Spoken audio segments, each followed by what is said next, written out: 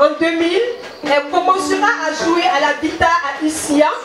Faut-il le dire, en ce temps-là, faire la musique était juste un passe-temps pour notre chant jusqu'à ce qu'en 2018, Dieu se révèle à sa servante. C'est en 2000 que Grace Naomi entre en studio pour véritablement répondre à cet appel de Dieu. Elle lui sort avec un tout premier opus baptisé Jésus m'a délivré. Une œuvre de huit signatures qui met l'accent sur la puissance de Dieu dans la délivrance des âmes. Vraiment, l'album, grâce à l'album, vraiment, il y a beaucoup d'hommes qui seront délivrés, qui seront libérés par cet album. Le chanteur Grace Naomi exerce le ministère d'évangélisation en plein temps à l'église Midéger. Sortir un album est donc une action qui prouve l'amour de l'œuvre de Dieu au dire de l'orateur de sa dédicace ce dimanche 18 juillet. Tu peux être chanteur et puis ne pas aimer Dieu. Tu peux être prédicateur et puis ne pas aimer Dieu. Quand on aime, ça se voit. Quand on aime, on pose C'est devant un public acquis à la cause de Dieu que le prophète Élie a consacré Jésus m'a délivré à Dieu avant de le présenter comme une arme d'évangélisation. Notre premier rôle, c'est l'évangélisation.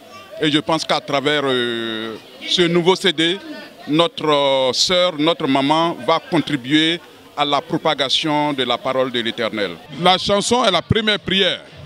Et en tant que telle, nous devons soutenir tous les chants pour qu'ils puissent produire des cassettes pour faire avancer la parole de Dieu. Plusieurs autres chanteurs de l'Éternel ont marqué leur présence à cette présentation d'album par des prestations pour soutenir Grace Naomi dans la carrière qu'elle débute.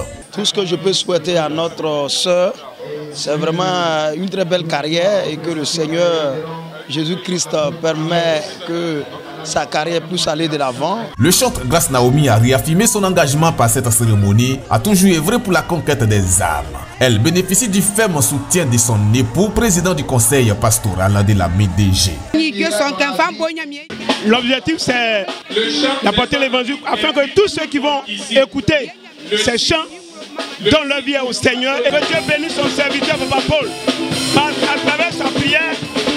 Quand ma femme chante, je sais que les âmes sont sauvées. Et pour moi, je veux qu'elle aille encore plus loin. Grace Naomi fait de la musique traduite moderne. Son album Jésus m'a délivré est disponible au prix de 2000 dans les lieux de ventes habituels.